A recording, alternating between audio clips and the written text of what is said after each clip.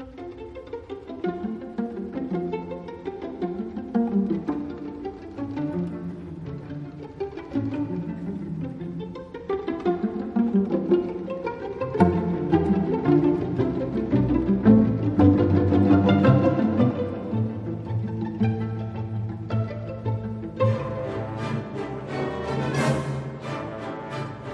Obeležja modernosti u srpskom društvu neraskidivo su vezane za proces razvoja kapitalizma, urbanizaciju gradova i različite socijalne pojave, oblikovane potrebom uklapanja u aktuelni i odgovarajući evropski kontekst.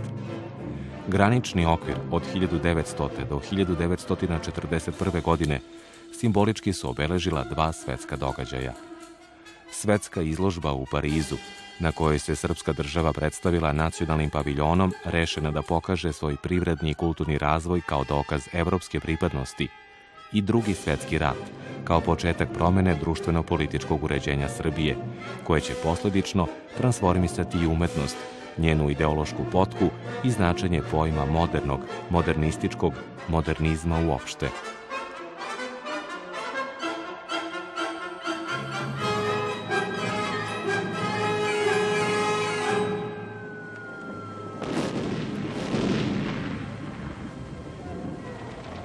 Uprkos značajnim istorijskim događajima koji su obeležili epohu, dinastički prevrat, dva Balkanska i prvi svetski rat, formiranje kraljevine Srba, Hrvata i Slovenaca, potom i kraljevine Jugoslavije, raspuštanje parlamenta i diktatura i tematske i idejne strukture srpskog slikarstva navedenog perioda mogu se posmatrati kao jedinstvena celina. Razlozi takvom pristupu leže u čvrstom paralelnom procesu kontinuirane, mada često usporene, modernizacije srpske države i društva, vezane prevashodno za sinhronizovani neprekinuti čin uspostavljanja građanskog društva i kapitalističkog privređivanja.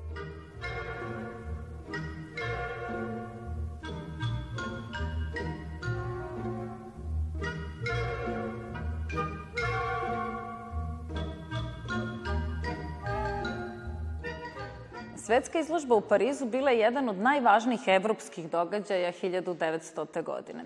Kraljevina Srbija želela je da se u svom prvom nastupu predstavi u što reprezentativnijoj selekciji, tako da je tri godine ranije, već 1897. osnovan poseban odbor koji je trebalo da organizuje predstavljanje Kraljevine Srbije na toj izložbi. Svetozar Grozdić je bio na čelu, a ideja je bila da se predstavljenim u paviljonu pokažu dometi, mogućnosti i istorijska prošlost Srbije.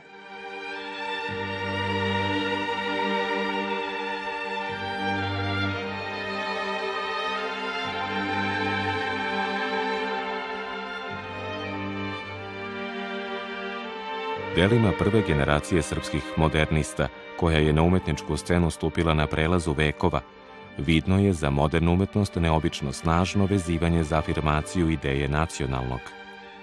Iako rani srpski modernizam odlikuje neophodna formalna inovativnost, šire posmatrano, on se i dalje temelji na logici svetske izložbe, interpretiranoj samo drugačijim piktoralnim znakom. Zasnovan na kontinuitetu, uočava se kao stepenica logičnog razvoja sredine, čiji modernizam izrasta na razumevanju tradicije, a ne činu raskida sa njom.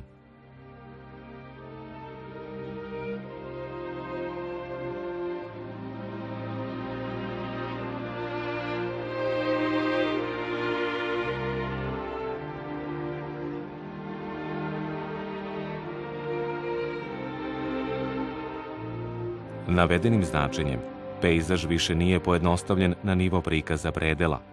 Kao prostor bivstvovanja naroda, on se transformiše u novu istorijsku sliku, novi ideološki tip. Krajolik Srbije, umetničke kolonije, zajednički rad u prirodi, ali i slike drugih prostora vezanih za sudbinu nacije, kao što su stara istorijsko-kulturna središta, mesta kretanja vojski ili prinudnih izmeštanja, poput nadeždenih srbijanskih motiva, Glišićevih jedrena, Golubovićevih kajmakčalana, Milanovićevih kaprija ili Miličevićevih krvskih pejzaža, naslanjaju se takođe na upisivanje novog smisla slici podneblja. Pejzaž biva metaforom zemlje kao naroda. Slika zemlje u srpskom slikarstvu prvih decenija 20. veka postaje posredni označitelj prisustva i kontinuiteta nacije, kao i njenih vrlina. Romantizovanje prizora odvija se istovremeno i kroz subjektivno interpretiranu stvarnost, oličenu u idealizaciji narodskog života kao simbola iskonskih, tradicionalnih vrednosti.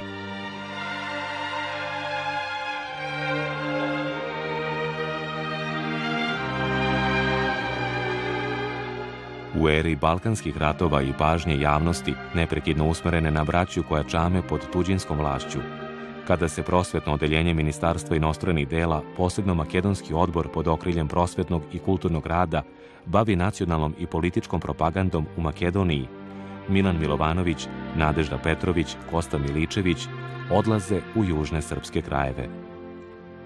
Po smislenom fizičkom izmeštenju, posetama svetim ili pak doživljenim kao takvim, mestima i propratnoj formi njihovog arhetipskog poštovanja, ova putovanja skoro da se uspostavljaju kao svojevrsna hodočašća.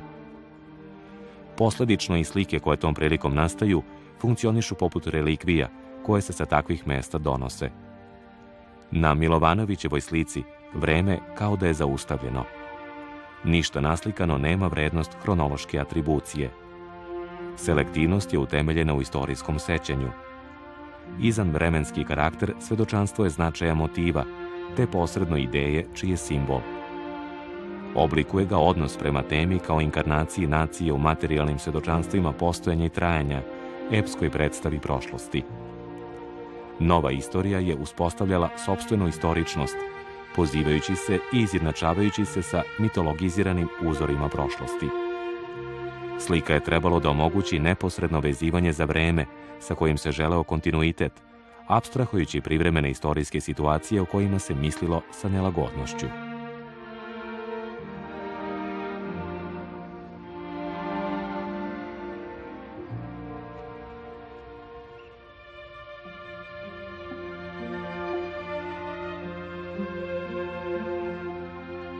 Interesovanje za pejzaž kao motiv višestrukog značenja nastavlja se tokom čitave prve polovine stoleća. Prepoznatljivi tipski predeli, predmet intenzivnog procesa ponavljanja koji konstituiše mit o određenom krajoliku, slike zavičaja, uočavaju se u delu Milana Konjovića, Bačka,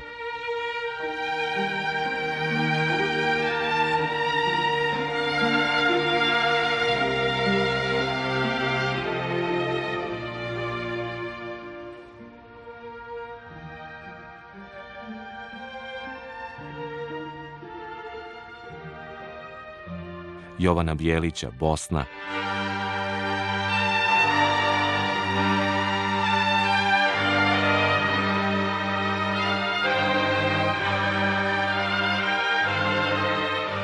Petra Dobrovića, Dalmacija.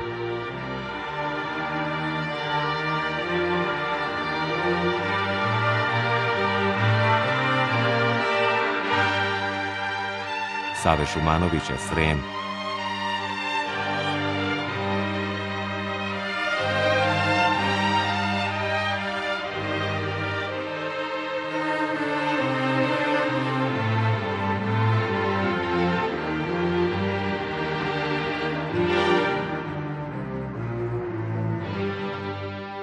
Ivana Radovića, Bačka,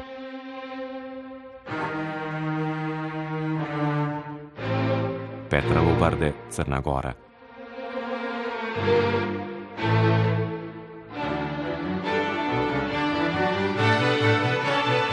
Izmenjene društvene okolnosti uslovit će samo delimičnu promenu prioriteta. Nova idealizovana slika nije više dominantni stožer nacionalnog identiteta na opštem planu, već ličnog doživljaja i nostalgičnog sećanja, koje suštinski ne menja odnos prema temi. Naprotiv, modifikovano značenje upućuje na genezu tipa, narativa i ideologije slike, kao logičnu posledicu šire istorijsko-socijalne klime, koja u svojoj osnovi i dalje baštini istu ideju. Seoski prizori Ivana Radovića naslanjaju se na narodni izraz. Kako umetnik tvrdi, njegov cilj nije faktografsko prenošenje viđenih stvari, nego kreativno preobražavanje stvarnosti. A ta preobražena, intimno preoblikovana slika sela lako uspostavlja vezu sa konceptom modernističke pastorale. Bajkovit krajolik i anegdotske žanr scene sa primesama razneženog humora koje suptilno upućuju na toplu ljudsku prirodu seljaka. Rađene su s namerom da naglase neiskvarenost, neuprljanost ovog necivilizovanog čoveka. Krajem 19. i početkom 20. veka za srpsko društvo, kao i za mnoga ruralna društva, karakterističan je taj proces seoskih radnih migracija. Međutim, ono što je posebno interesantno je da dolazak u novi prostor, dakle dolazak u grad, nije nužno vodio i formiranju novog gradskog mentaliteta. Tako da smo svedoci jedne specifične situacije, nekakvog procesa rustifikacije, gde se zapravo po obodima grada formiraju zavičajni prostori. Emotivne veze sa ostavljenom porodicom usporavale su proces asimilacije. Osećaj pripadnosti i dalje se vezivao za kult zavičaja, onemogućavajući suštinsku integraciju u novu sredinu.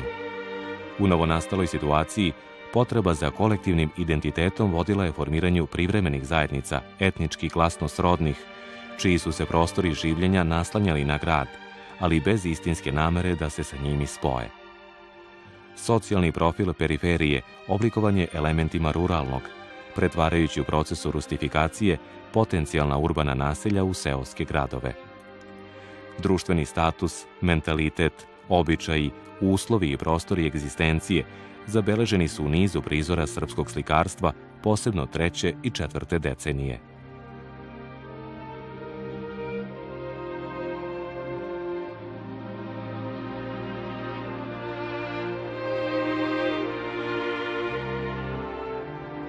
Dela na kojima se uočavaju tegoban gradski život, beda i depresija, razotkrivaju činjenice o socijalnoj podvojenosti, kao posledici procesa modernizacije, urbanizacije i industrijskog napretka. Za razliku od slike sela i još više seoskog rada, kao idealizovane veze sa svojom zemljom, slika grada je slika eksploatisanosti, društvene margine, tuđe zemlje. Na putani modernizacije srpskog društva, od iskonskog i tradicionalnog do savremenog i evropeiziranog, teme i sadržaji sela i grada su simboličke tačke početka i kraja takvog procesa.